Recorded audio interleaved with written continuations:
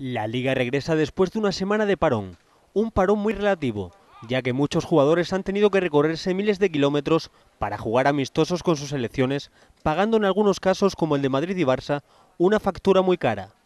Es difícil para mí de hablar de esto, pero pienso que la organización de los dos amistosos de la España no fueron tan buena porque eh, los jugadores han eh, dormido tres noches en el avión, esto no, no es bueno. Eh. Para Ancelotti la baja de seis meses de Kedira no viene sola.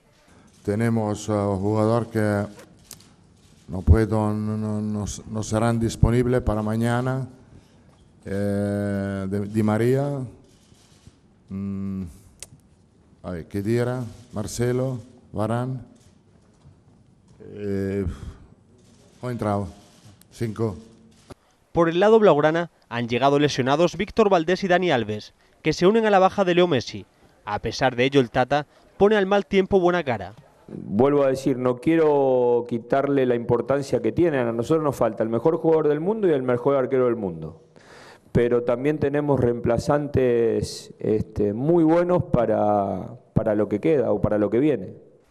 Sin duda el otro tema candente en la actualidad futbolística es el balón de oro concretamente la ampliación del plazo de votaciones y el eterno debate Messi-Cristiano.